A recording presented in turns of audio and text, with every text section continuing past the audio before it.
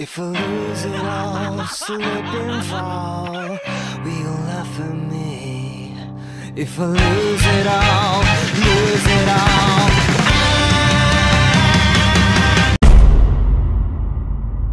¿Ustedes recuerdan estas palabras de este ending?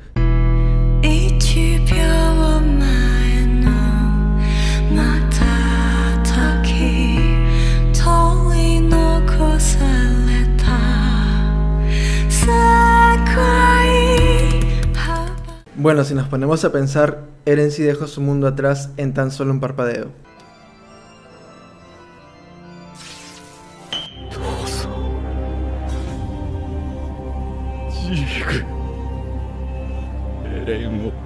ジ Shingeki no Kyojin ha llegado a su final y la verdad es que, wow, no me quiero hacer el loco, yo también en su tiempo, cuando vi el manga, no me convenció tanto. No sé si fuera por la publicación mensual y querer ver ya el desenlace tan desesperante que no me dejó sumergirme en esta espiral de sentimientos que sí he tenido con el anime y he de decir que me ha gustado mucho, ha sido casi perfecto. Ha habido acción, ha habido tristeza, ha habido pics de los pics y por supuesto ha habido comedia. Lo cual vamos a tocar punto por punto.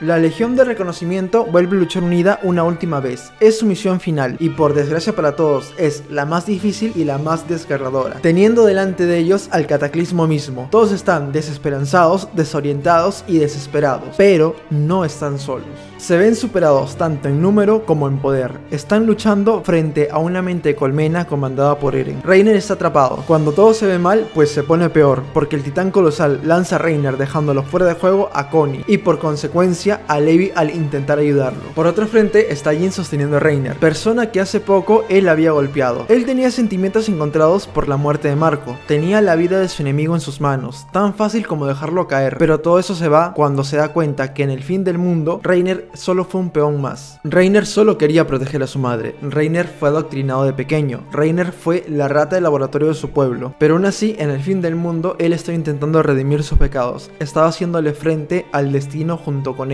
es ahí cuando Jin lo mira a los ojos y le dice: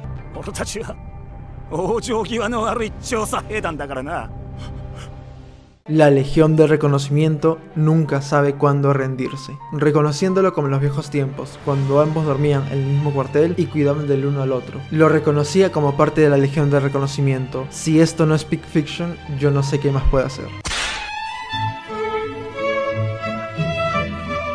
El discurso de Eren y Armin para mí fue lo mejor de toda la parte final. E incluso que el final mismo, que fue buenísimo. Y aunque mucha gente diga que Eren fracasó, realmente prueba que Eren y Armin triunfaron. Pero ya vamos a ello. Primero, el discurso de Armin fue un tanto diferente al manga. En el manga, por si no recuerdan, Armin prácticamente le agradece a Eren y le dice, muchas gracias por convertirte en un por nosotros. Algo que en mi opinión está fuera del personaje de Armin, pero en el anime es todo lo contrario. Armin le dice a Eren que ha cometido una atrocidad, que debieron haber más formas, que las manos de Eren están manchadas de sangre. Armin no blanquea en ningún momento a Eren. Como su mejor amigo, le dice que la ha cagado, que será un ciclo sin fin, que el único mensaje que quedará después de esto será mata o te matarán. A lo cual Eren también se lo cuestiona. Dice que sí, este es el final que él decidió, que las cosas y las matanzas que él hizo tal vez pudieron haberse evitado, pero también dice algo muy real. Él no nació siendo un genio, se considera un idiota y se hunde en su miseria, sabiendo que hizo todo lo que está a mano, pero aún así no es el resultado que él quisiera. Pero Armin le dice que no fue solo él, también Armin tuvo ambición, también Armin tuvo sueños, también Armin fue egoísta, y ese egoísmo y ambición de Armin también arrastró a Eren, y que con todo lo que hizo Eren, él sacará partido por la humanidad, él será el héroe de la ciudad amurallada.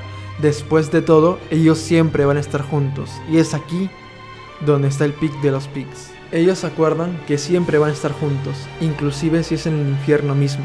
Ellos pagarán todo juntos, el haber asesinado al 80% de la humanidad. Después de todo, son mejores amigos.